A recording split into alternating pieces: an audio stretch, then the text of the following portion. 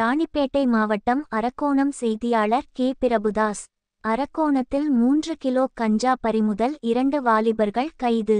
அரக்கோணம் அடுத்த புளியமங்கலம் ரயில்வே குடியிருப்பு பகுதியில் கஞ்சா விற்பனை செய்து வந்த இரண்டு வாலிபர்களை போலீசார் கைது செய்து மூன்று கிலோ கஞ்சாவை பறிமுதல் செய்தனர்.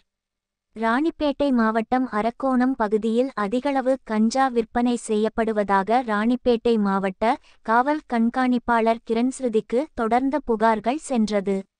அவரது உத்தரவின் பேரில் அரக்கோணம் டவுன் இன்ஸ்பெக்டர் செந்தில்குமார் மற்றும் போலீசார் தீவிர ரோந்து பணியில் ஈடுபட்டு வந்தனர். அப்போது புளியமங்கலம் பழைய ரயில்வே குடியிருப்பு பகுதி அருகில் உள்ள முட்புதரில் இரண்டு வாலிபர்கள் போலீசாரை பார்த்ததும் ஓட முயன்றனர்.